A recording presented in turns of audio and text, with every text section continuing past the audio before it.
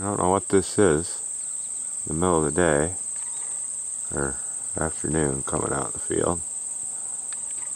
I'd like to see that buck again in the daylight. That's just a doe, I think.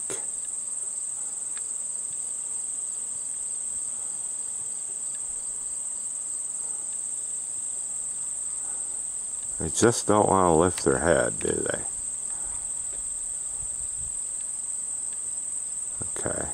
I don't know what that is. I'm going to have to put my glasses on. Okay.